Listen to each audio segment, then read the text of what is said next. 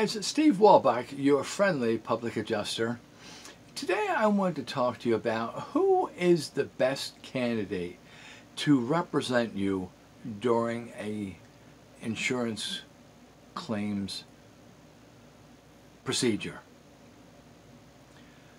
Are, are you the best suited to do that? Most homeowners are not. Are you? Now, if, if you want to take, uh, you know, so, so let's say it's not you. Okay, so who do we have to choose from? All right, well, we have contractor.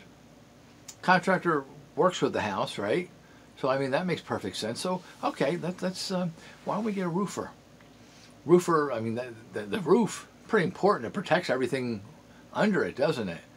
So, if we get a roofer, and he's going to represent us. If it's a roofing claim, that's great. It's right up his alley. He knows exactly what to do. But what happens if it was a, a water loss from a pipe um, in the wall somewhere? What good is a roofer going to do us? Any? Unfortunately, I'd have to say probably not. That's not really his expertise.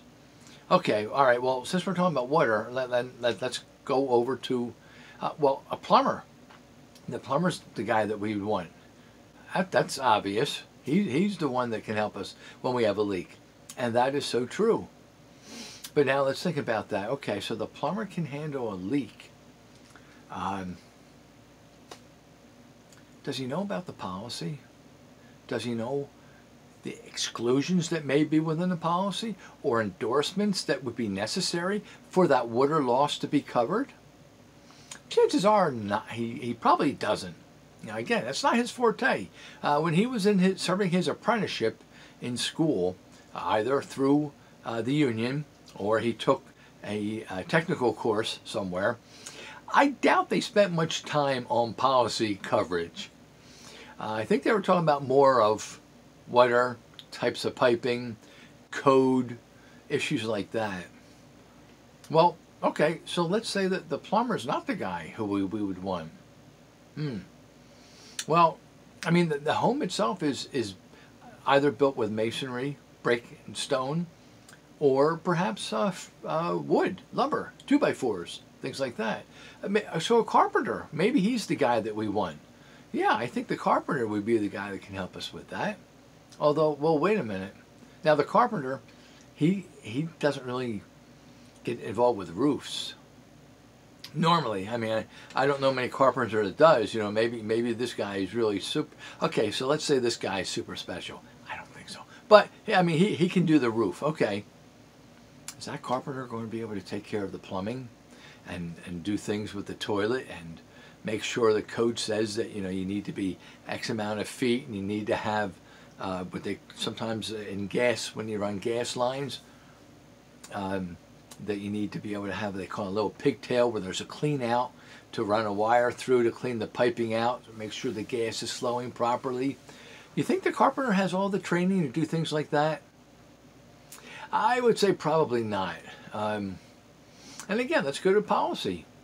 Now, what, what would he know about ordinance of law or sewer and water backup uh, or an ice and water shield that goes on the roof? Does he? I, I don't think he's going to know those things. I, I can't see them when he was either going through the trade apprenticeship or went to a, vocation technical school to get his training. He was learning more about angles and learning more about uh, the nailing and how we put the, the joints together and, and what a what type of weight a lam beam, lamination beam how much weight that can take when you're putting a second story on there, the distance versus how much weight. Um, he knows those things, but I don't think he's going to be able to help us with filing an actual claim.